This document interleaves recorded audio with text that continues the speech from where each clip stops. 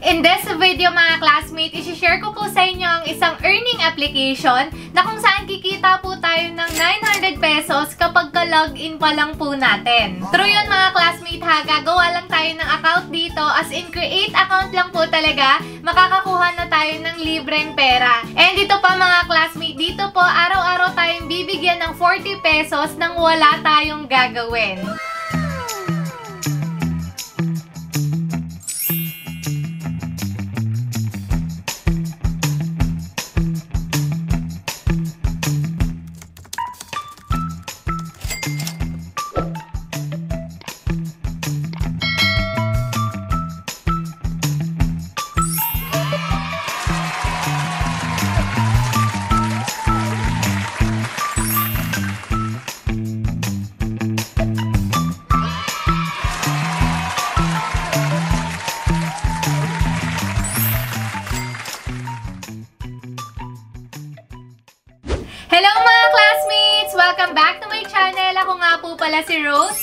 At kung bago ka pa lang dito sa ating channel at gusto mong kumita ng libre, i-click mo na ang subscribe button pati na rin ang notification bell para updated ka kung may mga bago tayong upload na video na pwede mong pagkakitaan online. Dito mga classmates, namimigay po tayo ng 100 pesos. Doon po sa mga magko-comment na makikita nyong hashtag word dito sa video na ito. Pero bago yun, syempre, mag-like and subscribe ka muna. So, for today's video nga po mga classmates, isi-share ko po sa inyo ang isang earning website na kung saan kikita po tayo kahit wala po tayong ginagawa. So, ano nga po ba ito? Huwag na natin patagalin pa. Let's get started. And ayun na nga mga classmates, ang earning website po na isi-share ko sa inyo ay ito pong si Cloud Mining. So, dito nga mga classmates, from the word itself, magmamine nga po tayo dito ng cryptocurrency araw-araw. And ang imamine nga po natin dito is ito pong TRX. So, ito nga mga classmates, si TRX ay isa pong klase ng cryptocurrency, kagaya po ng Bitcoin, Litecoin, or USDT na pwede po nating i-convert into cash. And dito mga classmates, napakadali lang din po mag-register. Ang kailangan lang po natin is ang ating mobile number, password, maglalagay lang po tayo dito ng invitation code, and ikakopy lang po natin itong code na ito. And then after natin ma-fill up ang lahat yan, itatap lang po natin itong sign up. So, yun nga mga classmate, after natin makapag-register and login dito, makaka-receive po tayo agad ng 200 TRX or 930 pesos kapag ka-convert nga po natin into peso. And also, para po malaman ninyo yung rate ngayon ng TRX, ilalagay ko na lang po dito sa screen nitong video. So, yan, dito rin mga classmate, meron po silang dalawang klase ng wallet. So, meron sila ditong basic wallet and meron din po silang promotion wallet. And kung makikita nyo nga po dito sa promotion, 0 TRX po yan. Ang ibig sabihin, wala nga po akong invites dito. And dito naman sa ating basic wallet, ayan, meron nga po tayong 200 TRX na nakuha natin upon registration. So, ang equivalent niyan is 16.31 US dollars. So, yun na nga. So, paano naman tayo kikita sa pagmamine dito? So, dito nga po punta tayo dito sa trading, sa baba. Dito nga mga classmates sa trading, kung mapapansin nyo dito sa taas, meron pong plus of 5%. And also dito naka-note, cloud mining is working. So, ang ibig sabihin yan mga classmates, every 24 hours, makaka-earn po tayo dito ng 5% ng total balance po natin. So, mga classmates, to give you an example, meron nga po tayong na-receive dito na 200 TRX. And ang 5% po nun is 10 TRX which means every day po makaka-earn tayo dito ng 10 TRX or 45 pesos.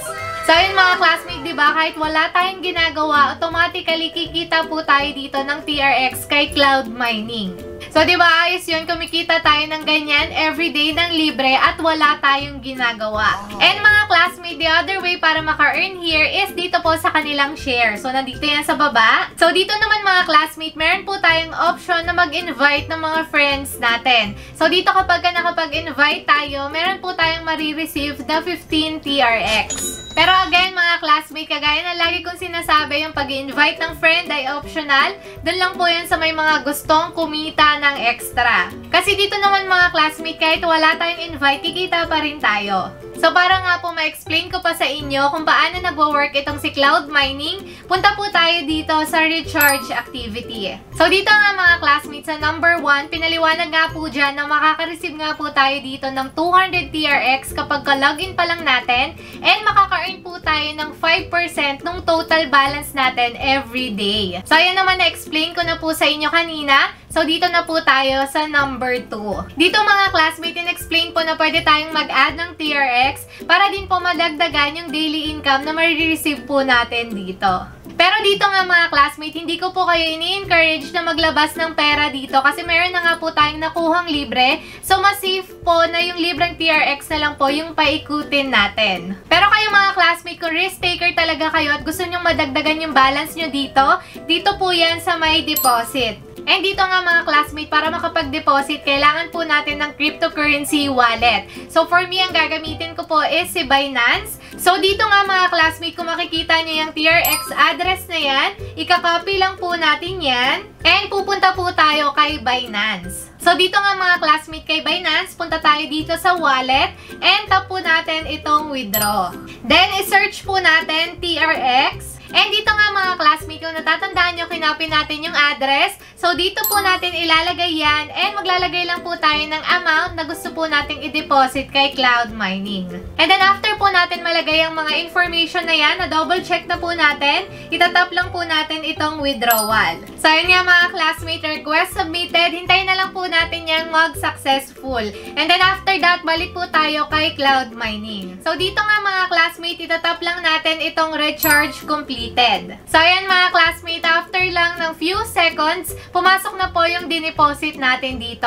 And since mataas na nga po yung balance natin, madadagdagan na rin po yung earnings natin dito araw-araw. So, di ba kanina, 5% lang ng 200 yung ma-earn natin dito. Ngayon, 5% na po nitong 699 TRX. And to withdraw naman dito mga classmate, meron po silang rules wherein available lang po na pwede nating ma-withdraw is yung 3% po ng total balance natin. So, kung maglalagay nga po tayo ng pera dito, matagal-tagal po talaga bago natin yun mabawi. Kaya naman mga classmate, I discourage you na maglagay ng pera dito. Mas maganda na gamitin na lang natin yung libreng TRX na binigay po nitong platform na ito. So, ayun nga, to withdraw nga dito mga classmate, itatap lang natin itong withdrawals. And dito nga mga classmate, makikita po natin yung total balance natin which is 699 TRX. And meron nga po tayo ditong daily withdrawal limit na 14.97.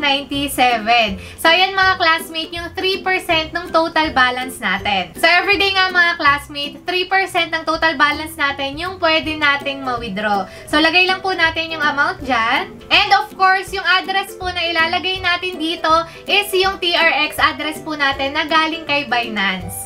And ayan, after natin malagay yan, mag-fill up lang po tayo dito ng ating password. And then after that, itatap lang natin itong confirm. So ayan nga mga classmate, withdrawal successful na. Nabawasan na po yung balance natin dito. And papasok nga po yan sa ating Binance account within 24 hours. And ayun nga mga classmate, ipo-flash ko na lang din dito sa ating screen kapag ka na-receive na po natin yung withdrawals po natin dito. So ayun nga mga classmate, yung own proof of withdrawal ko po dito kay Cloud Mining. And nga pala mga classmate, take note lang din, dito po wag na wag po kayong maglalabas ng pera dahil lang po napanood nyo po dito at ginaya nyo po ako. So kasi mga classmate, ginawa ko po itong video na ito dahil gusto ko lang po i-share sa inyo yung experience ko dito and also to give you a heads up na yung mga gantong application po, posibleng hindi magtagal. Pero ayun nga mga classmate, dahil risk taker ako, talaga pong I will take the risk kasi nga po malaki talaga yung promise ROI nila. And again, mga classmate, ulitin ko lang, do your own research.